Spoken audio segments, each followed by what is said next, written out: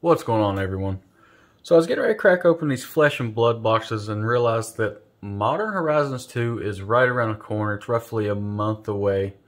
And uh, I haven't done a giveaway announcement. So with every set that comes out, I always try to give away at least one box.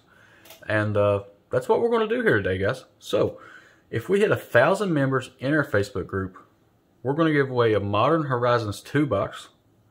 But on top of it, if we hit a thousand subscribers on our YouTube channel, we're going to give away our second Modern Horizons 2 box, as well as a Flesh and Blood Monarch Unlimited box.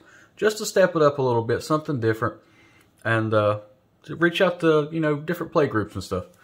So, again, check out our Facebook group. The link is in the description below, as well as our Patreon. If you want to help support even more, uh, some great benefits, guys, especially with your pre-orders. So check it out. The link's down there.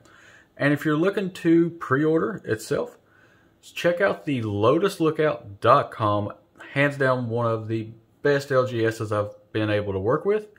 And uh, all you have to do is use the code on the screen at checkout, and you're going to save 10% on your order.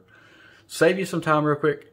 So the uh, Modern Horizons 2 boxes with the 10% off, you can get them for the draft boxes are 188, the set boosters are 197, and collectors are 315. But I will tell you guys, the collector boxes have already sold out. They moved really quick at those prices.